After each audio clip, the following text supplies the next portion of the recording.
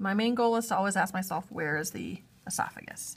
So I'm gonna kind of trace that down. See all that connective tissue in there? Just connecting everything. There's more muscle. The spine is gonna be way down buried underneath all this muscle over here. And so I can also see I've got all these like other blood vessels and all this other stuff going on.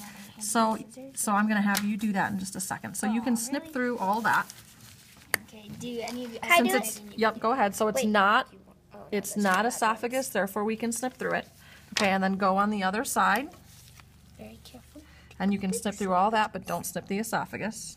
Don't kill her fingers either. Yep, okay. So I've got more connective tissue, and now it's a little bit more cleaned up, and now I can see things a little bit better.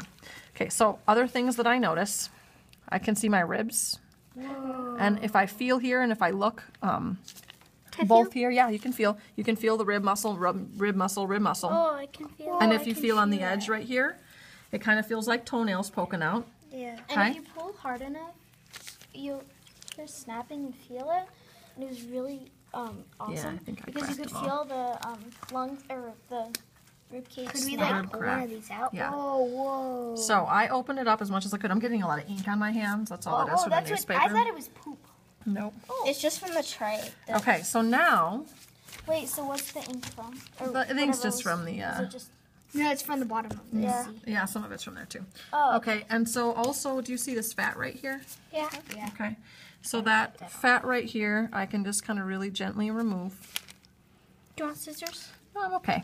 And then I also notice that there's this little bag around the heart. Do you see that?